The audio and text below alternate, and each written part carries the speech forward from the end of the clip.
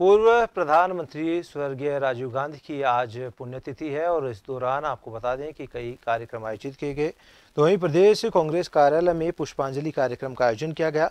PCC chief Govind Singh Dotasra, मुख्य सचेतक महेश जोशी, पूर्व उप मुख्यमंत्री सचिन पायलट, मंत्री प्रताप सिंह, मंत्री रघु शर्मा, पीसीसी सचिव ललित सोनवाल सहित अन्य कांग्रेस पदाधिकारियों और कार्यकर्ताओं ने राजीव गांधी की मूर्ति पर पुष्प अर्पित किए।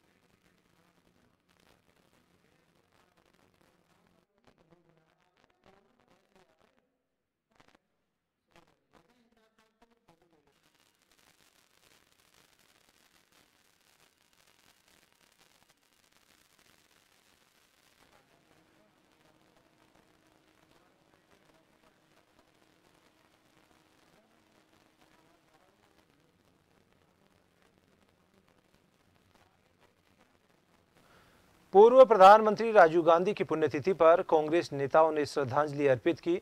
इस मौके पर पूर्व पीसीसी चीफ सचिन पायलट ने कहा कि 30 साल समय हो गया है, हम सभी उन्हें आदर्श मानकर कार्य कर रहे हैं। पूरा देश आज राजीव गांधी को याद कर रहा है। बहुत कम समय में उन्होंने अपनी प्रशासनिक छाप छोड़ी है। हेमाराम के इस्तीफे को लेकर पायलट ने कहा कि वो वरिष्ठ और ईमानदार विधायक हैं।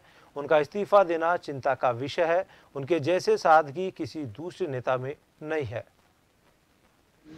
देश और प्रदेश में इस महामारी के बीच जनता तक और अधिक पहुँचने का प्रयास हम लोगों ने आज किया है। शहादत को देश याद करता है और सब पार्टी के लोग उनको आदर्श मान के काम करते रहे और बहुत कम समय में उन्होंने अपनी प्रशासनिक कुशलता और एक नयापन का जो दौर इस देश की राजनीति में उन्होंने सामने लेकर आए थे, उसका अनुसरण आज हम सब लोग कर रहे हैं। और 30 साल का समय हो गया जब से हमारे बीच में नहीं है। और आतंकवादियों के हाथ उनकी जो हत्या हुई वो मैं समझता हूँ भारत के इतिहास में बहुत ही काला दृश्य हमेशा बना रहेगा।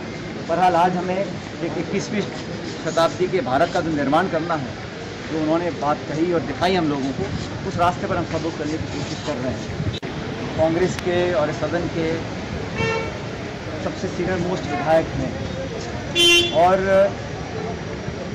राजस्थान की राजनीति में, कांग्रेस की राजनीति में उनका बहुत बड़ा योगदान रहा।